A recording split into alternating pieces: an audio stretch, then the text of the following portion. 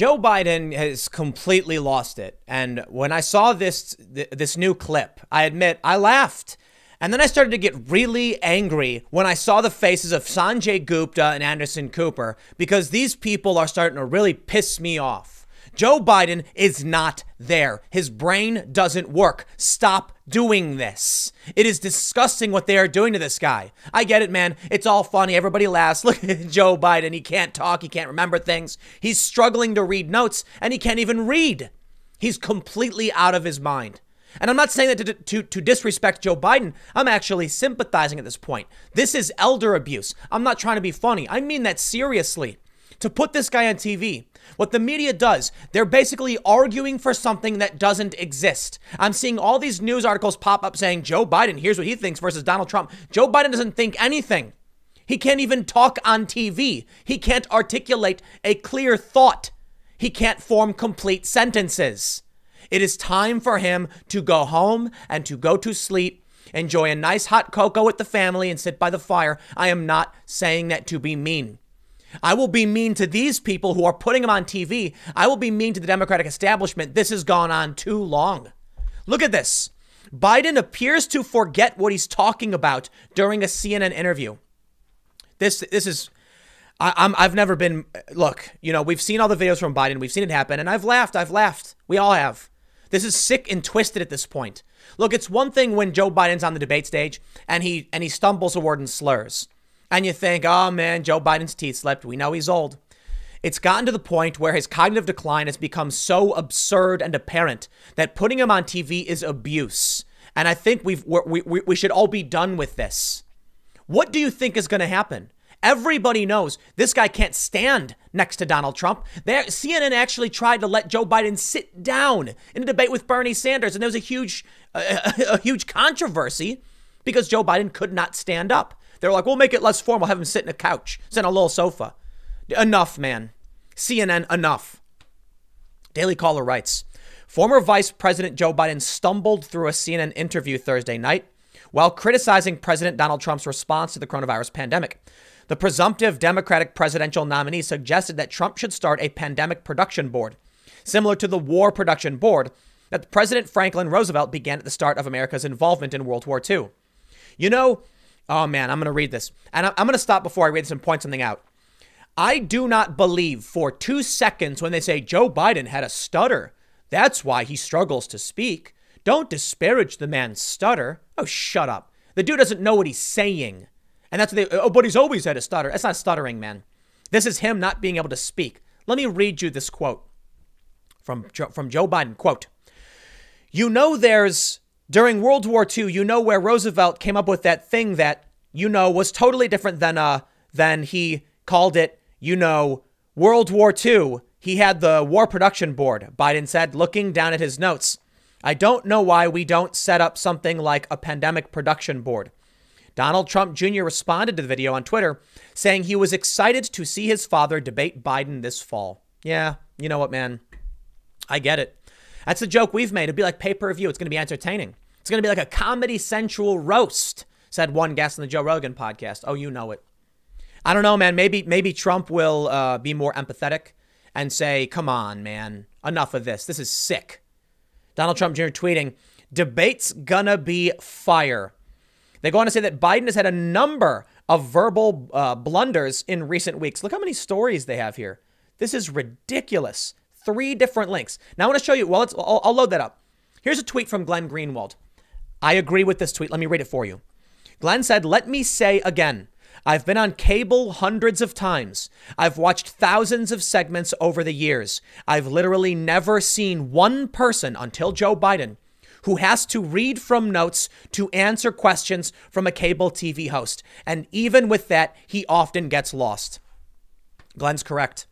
Here's what the first response is. So when Bernie is asked literally any question and gives the same robotic response about billionaires and Medicare for all, that makes him sharp, sharp as a tack? Yes, yes, it does. Bernie Sanders can instantly recall his talking point. This is how the media works. I too have been on cable many times, not nearly as many as as Glenn Greenwald. I also host a show where I have no script and I often ramble. And yes, many people get upset because sometimes I repeat myself, maybe too much. I apologize for that. It happens.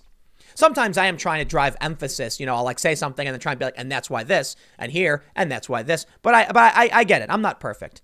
But what Joe Biden is doing is something very different. I too have watched cable over the years. I've never seen someone look down and struggle to read a note card when they appear in a show. I've never seen it. You you you watch podcasts, right? All these different podcasts, people can hold conversations with each other. Let me ask you something. If you went to meet with someone and you ask them a question, so what do you do for a living? And they looked down at a card and said, uh, well, I did, uh, well, um, you know, a couple of years ago, uh, my job in in in manufacturing, it's uh, I, you know I, I it's a um the, the thing with my manufacturing, you'd be like, whoa, dude, I, I literally just asked you a simple question. You don't need notes for this.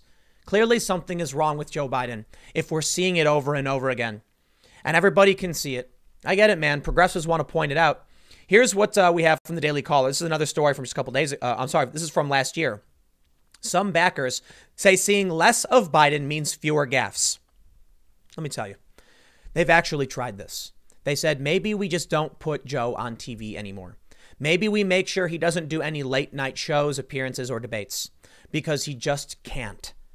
And and this was back in August. They knew it was getting bad.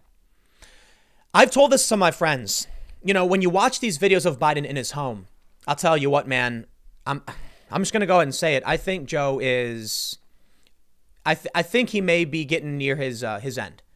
And I'm not trying to say that to be disrespectful or shocking or mean. I mean that with the utmost concern and sincerity. When when you look at people who are getting on in years, their decline starts getting worse and worse and worse. It's exponentially worse. You'll see one gaffe.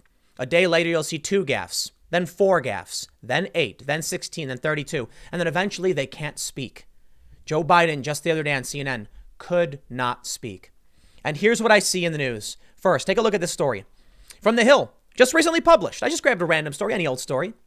Joe Biden's record on Social Security isn't perfect, but Donald Trump's is far worse. I tell you what, man, they are putting up a mannequin next to Donald Trump. There is no Joe Biden. I'm sorry, it's the truth. There is no Joe Biden. The man is not there. There's no policy for Joe Biden. There's no debate for Joe Biden. The media is creating the debate for him. Donald Trump is debating no one.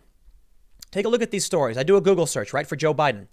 Karl Rove debate, debates Donna Brazile on Obama's unusual way of endorsing Biden. Not really about him. Biden is losing the internet. Does that matter? No.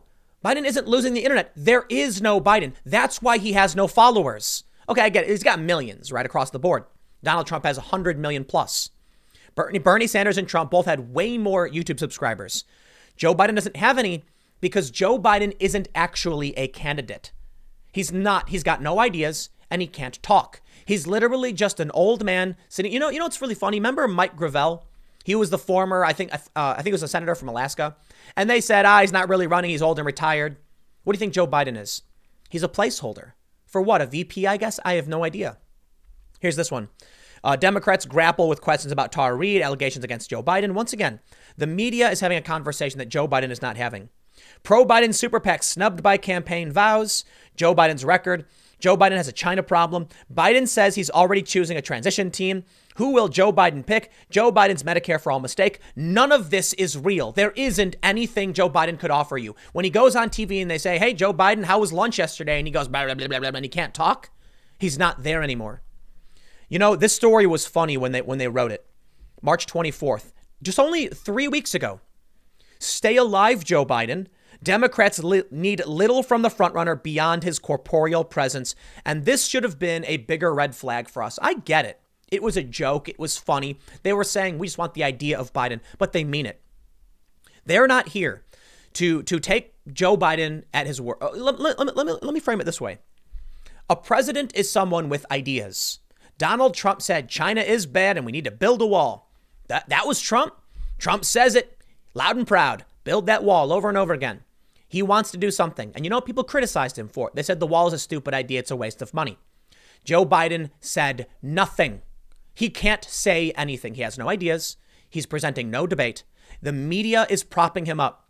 When Trump, I'm sorry, when Biden comes out and says gumble, mumble, gerdizzle, schmid, they say Joe Biden offers up interesting critique of the president, and they cut out the nonsensical, jar- garbled gibberish, and then just, well, here's what we think Biden meant.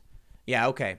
You let me know when Biden's sitting there complaining about the moon people and, you know, acting like it. Wasn't there something where one of his gaffes was he thought it was like 1972? I'm not, I'm not, I'm not making this up.